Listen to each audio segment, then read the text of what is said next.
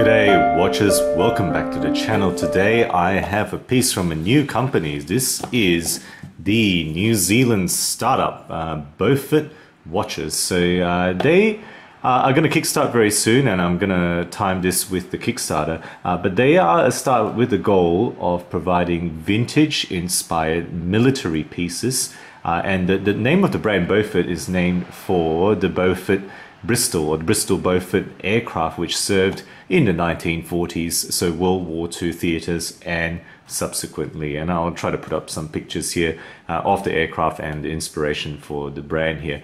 Uh, so let's just open uh, this watch to show you. So the name of the watch is there on the box. Uh, so this is a prototype, so Beaufort there. Presumably this is going to be the packaging that it comes in, kind of this semi-solid box here, uh, but you know there's no uh, manuals that have been provided with this particular prototype uh, release. So let's just show you the watch here.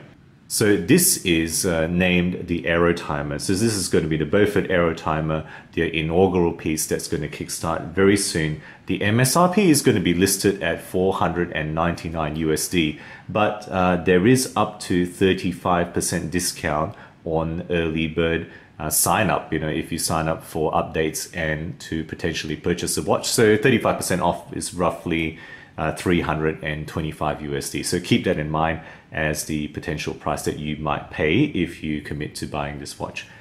All right, so let's just uh, show you the movement there. So, you know, I've just got to undo this uh, uh, piece here to just zoom that in.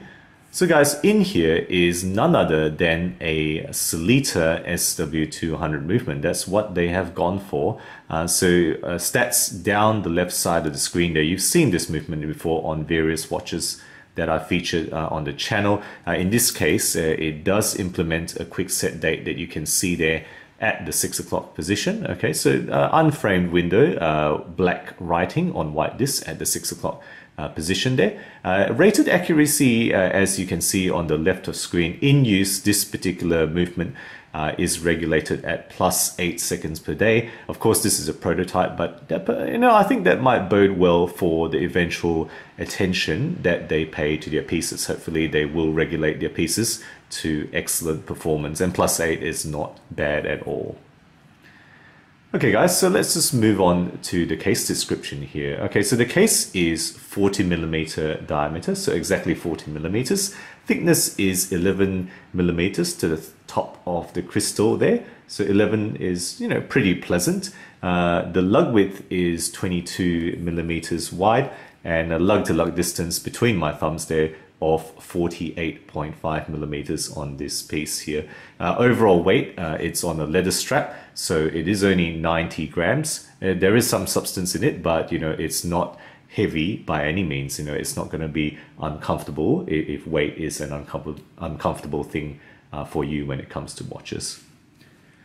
Okay, moving on to finishing. Okay, so finishing wise, you can see the bezel, uh, right? That angled bezel with a couple of layers there is polished. Uh, now that transitions onto longitudinal brushing on the top surface of the lug that you can see there, as well as longitudinal brushing on the sides. But there is a polished bevel, kind of this 45 degree bevel there on the lug face that you can see there.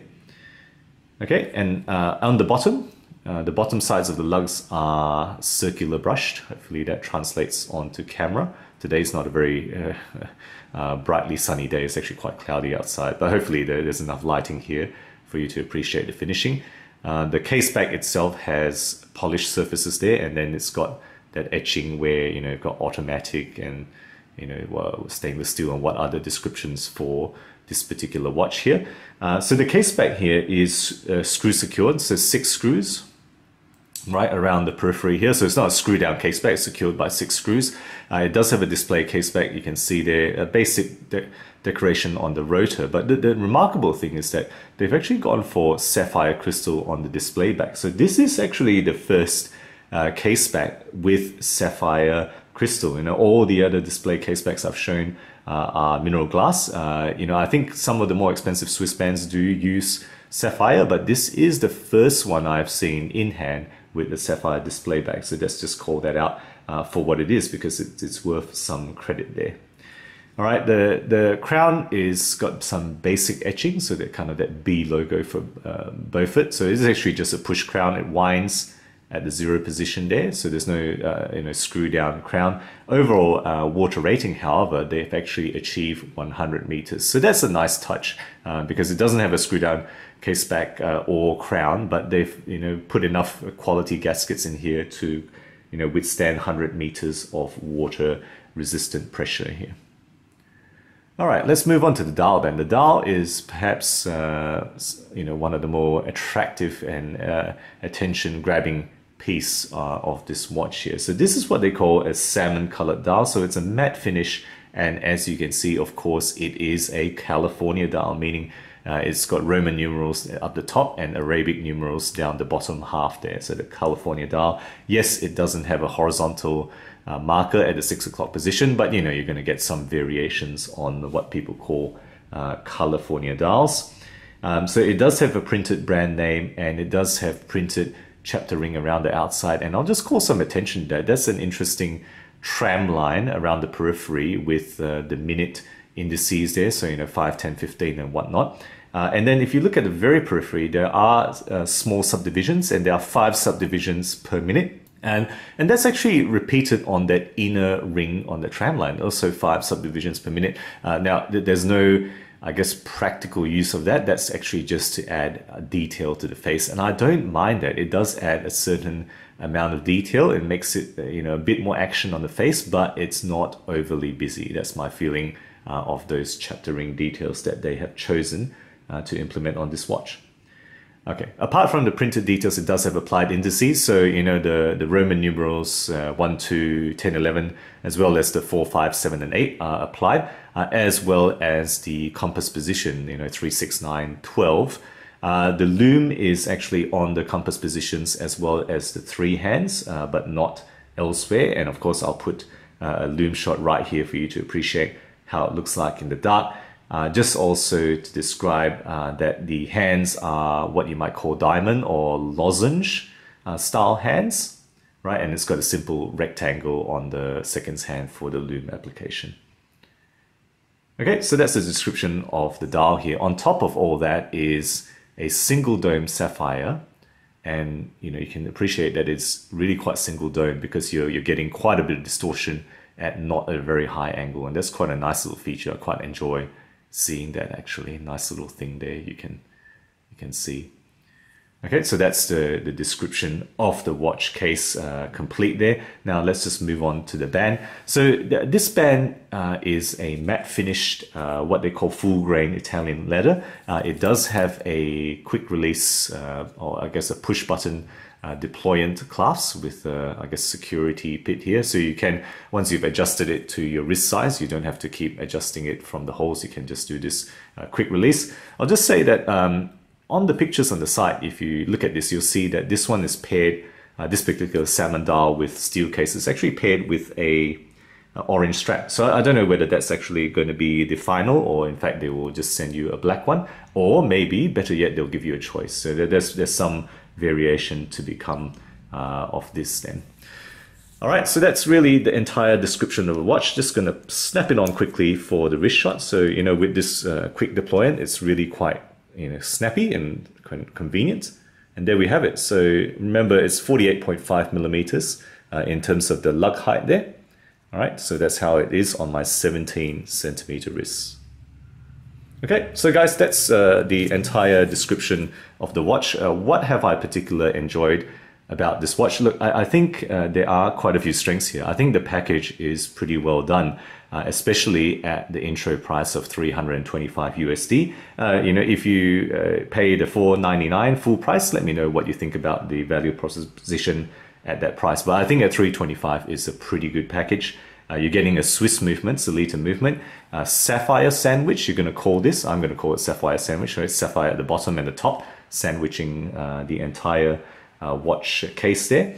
Uh, and a pretty original design. I, I don't know that this has actually completely copied anything. I think this is actually a completely original design. So good on them for coming up with a pretty nice looking you know, case and dial. That that salmon color is something that I really enjoy looking at, and it really is quite a beautiful dial. You know, with uh, they haven't just gone for printing; they've gone for applied details in those markers there, and a pretty well done set of hands there. And overall balance uh, is is nice. It's something that I enjoy. I also point out that the hand lengths are absolutely precise. If you look at the hands right there, they end precisely at the inner chapter ring. And i appreciate that because you know it makes it easy. You can kind of point up at the minutes when you're when you're setting your time.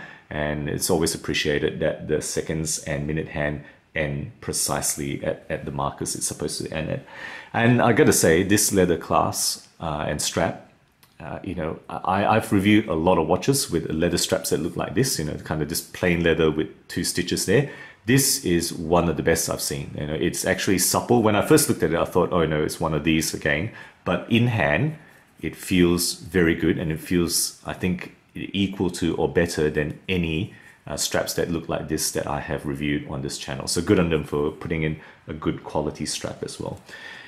Right, what weaknesses, what, what kind of complaints or gripes uh, do I have about this watch? Not much, honestly. There is not much I can pick uh, on this watch. The only thing I would mention is that the lug width is 22, the, the case diameter is 40, so 22 is, you know, let me know what you think. It's slightly disproportionate. The, the, the you know, band looks slightly wide for this case, but that's a very subjective thing, and it's a very, very minor gripe out of what is otherwise a pretty darn good package, I think. Uh, personally, I prefer uh, proper water resistance with screw down crowns and whatnot, you know, but you know, this is a, an aviator style piece, so it doesn't have to do that. I don't mind that, that they haven't gone for that. Uh, and personally, if you know me, uh, I prefer bracelets, uh, but you know, for an aviator watch, I think they mostly all come in rubber or, or leather. So, you know, that's really what they've gone for. Uh, so this is the package that you can get if you go for this watch.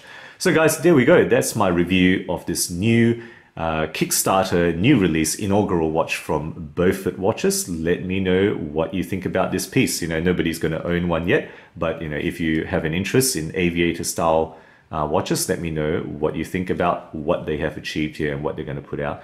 Guys, if you enjoy my videos, do consider subscribing. New content every week, always aiming to be objective and unbiased about all things horology. Thank you again for sticking with me, and as always, I'll catch you guys next time.